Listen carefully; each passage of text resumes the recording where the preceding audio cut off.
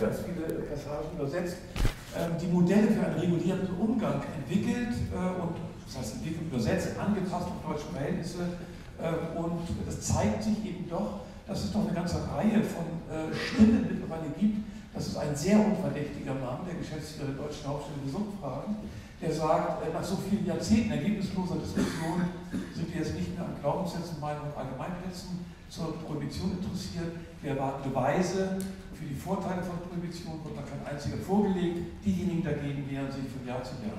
Ob uns das gefällt oder nicht, das spielt überhaupt keine Rolle. Es geht ja, äh, es sei denn, Suchtpolitik wäre eine Geschmacksfrage. Ähm, die Frage ist nur, die ich mir sehr stark stelle, wie nachhaltig sind eigentlich alle unsere Diskussionen der letzten 20 Jahre zur Kritik der Prohibition. Wenn ich, ich saß heute Morgen in dem Bremer Block da hinten, äh, neben äh, Henrik Spezifisch, der hat ein Buch vor 30 Jahren, glaube ich, gemacht, äh, zu Modellen der Regulierung. Ähm, sehr viel mehr und Neues erzähle ich Ihnen heute auch nicht. Sorry, 30 Jahre sind dazwischen. Äh, wir erleben viele Dinge äh, zum wievielten Mal und wir erzählen uns, uns allen äh, die Dinge, die wir ohnehin schon kennen. Ich frage mich sehr kritisch und selbstkritisch nach, dem, nach der Nachhaltigkeit. Wir haben ganz tolle Konferenzen gehabt. Herr Haukapper hat schon mal auf dieser gesprochen und die war sehr schön. Oder die Cannabis-Normalgeschichten, die Sie auf Cannabis beziehen meine Hoffnung ist mit diesem, äh, diesem Kongress, dass äh, diese Eins sozusagen Auftrag an uns ist, äh, das jährlich weiterzuentwickeln, dass das eben ein Auftakt ist und dass wir uns wirklich sehr systematisch mit den Folgen der Strafrechtspolitik im Betäubungsmittelbereich äh, eben auseinandersetzen.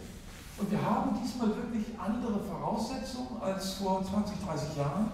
Wir sind nicht mehr die linken oder grünen Spinner, sondern äh, die äh, Bewegung die antiprohibitive Bewegung findet Unterstützung in der Politik, äh, gerade Bündnis 90 die Grünen mit dem Cannabis-Kontrollgesetz, viele Opposition, oder oppositionelle äh, Anträge, Nachfragen.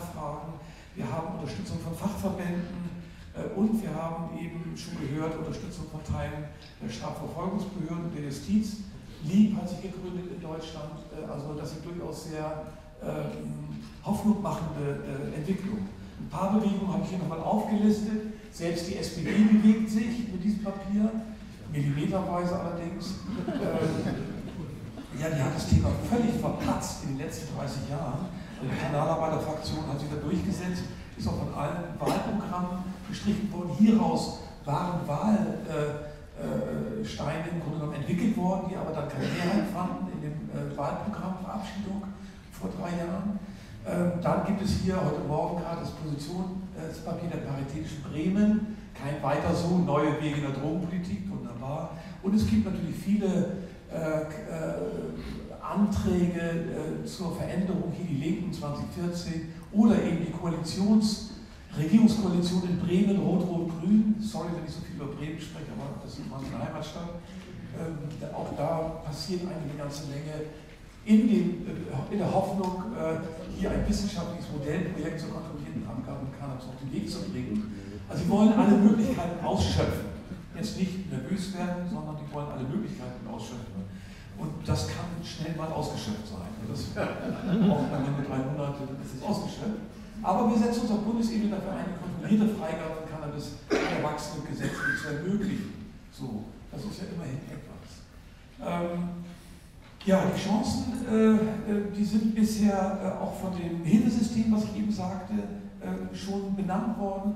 Für die äh, Drogenhilfe passiert Enttabuisierung, Entstigmatisierung, eine rationale Suchtpolitik, bessere Forschungsmöglichkeiten, eine Differenzierung des Risikodialogs in der Drogenhilfe, Erkennen und Ansprechen von Risikogruppen, all das wird eben gesagt von Vertretern der Drogenhilfe hier, Therapieladen in Berlin, äh, wo doch eine Reihe von äh, äh, Vorteilen aufgeführt werden, die da eine große Rolle spielen.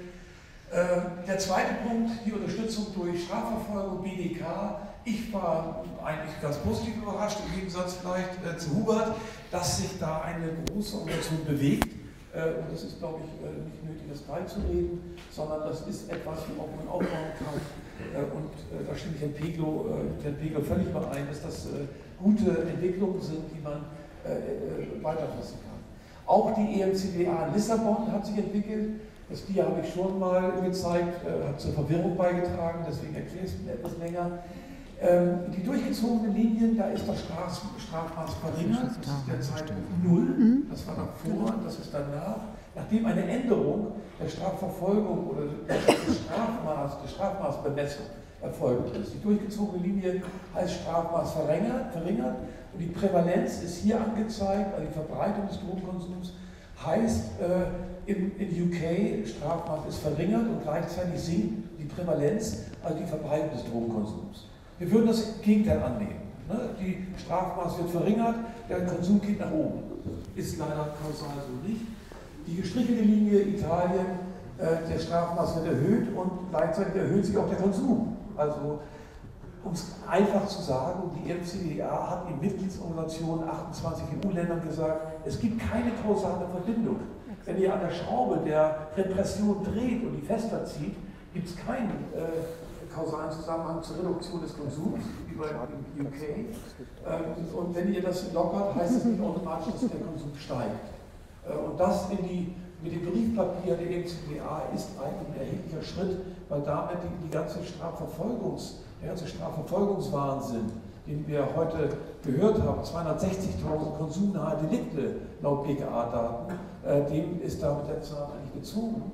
Und wir bewegen uns auf dieses auch bekannte Dia hin, dass wir eben gucken müssen, äh, wie wir den, äh, den Markt regulieren können. Illegale Märkte sind hier, Gangsterism äh, und die Hinderten und äh, wir bewegen uns äh, mit einer Regulation sicherlich hier, wo wir uns, wo wir nie auf die X-Achse kommen, aber doch alles versuchen. Wie weiter?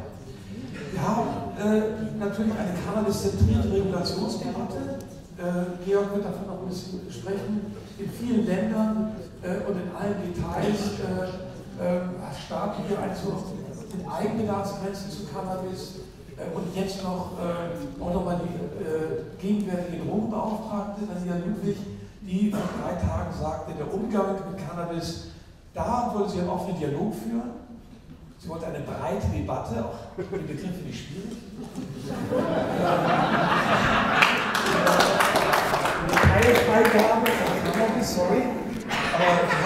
sie hat sich eben schon eingelesen, habe ich gemerkt. Und äh, ich finde, man muss eben diese Cannabis-Debatte überwinden äh, also die muss geführt werden, gar keine Frage, weil Cannabis die Leitdroge ist, an der wir andere Modelle exerzieren und das sicherlich auch in der nächsten Legislatur irgendwie machen werden. Aus den Gründen, die schon gesagt werden, aber im Grunde genommen geht es natürlich um ein Gesamtkonzept äh, in der Kontrolle von psychoaktiven Substanzen.